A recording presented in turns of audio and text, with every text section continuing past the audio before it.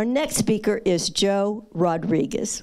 Joe is a native Wichitan, a graduate of Wichita North High. Go Red Hawks. I'm going to get it, Joe. And Wichita State University, Go Shocks, where he received a BA in journalism and minority studies. For the past 12 years, he has served as Director of Development at Holy Savior Catholic Church and Academy in Wichita.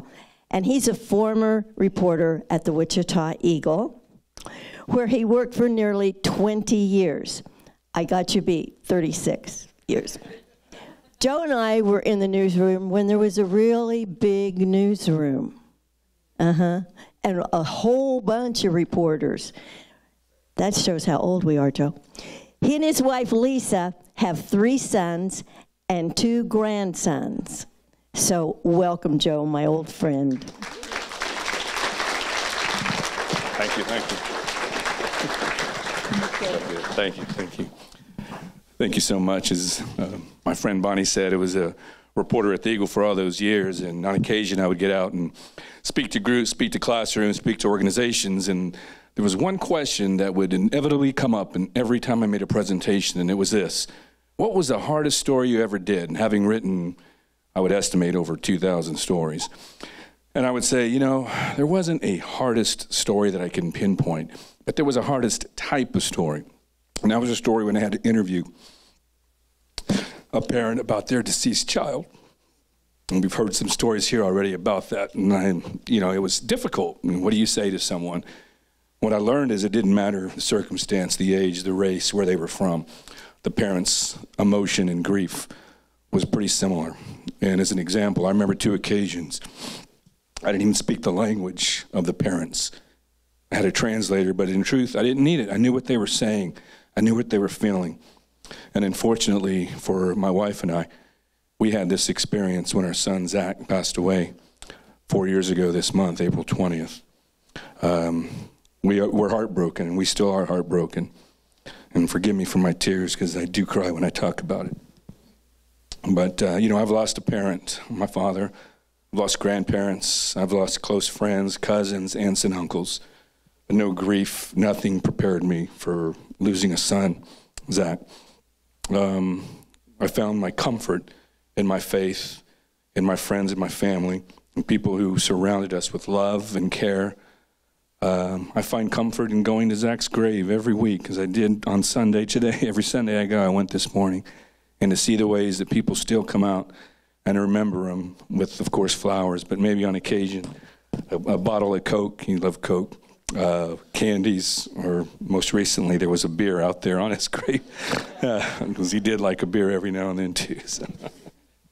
but for Zach, the decision that he made as a teenager uh, helped save the lives of four people. When he got his driver's license, he checked the box to become an organ donor.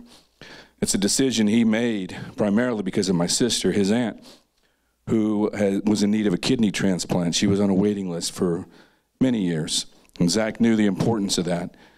He knew what that meant. And so there was no decision for him. He did that. And when he passed, I remember uh, groups talking to us and asking Lisa and I if this was something that we wanted to, to do. There was no hesitation. We, of course, honored uh, his decision uh, to have him do that. And that decision saved the lives of four people. His organs, lungs, kidneys, liver, and amazingly, his heart. He had died of a heart condition after being in the hospital for a week. But his heart was also donated.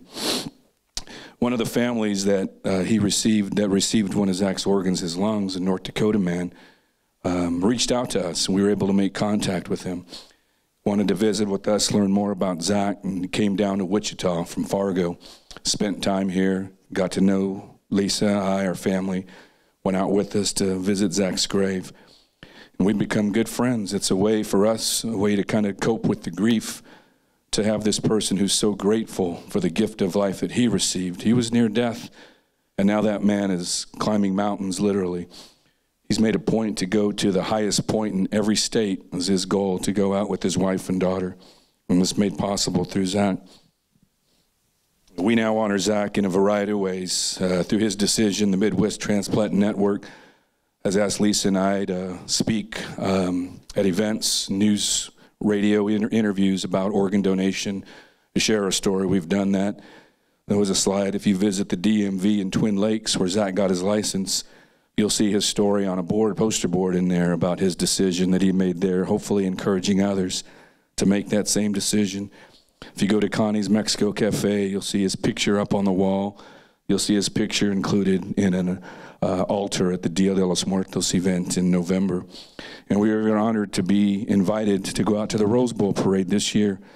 Zach was one of 39 organ donors, heroes nationwide, whose image of floragraph was done to be put on the Rose Bowl parade float from the Midwest Transplant Network. And the award ended up, the float ended up winning the sweepstakes award for the best floats, and we were really proud of that.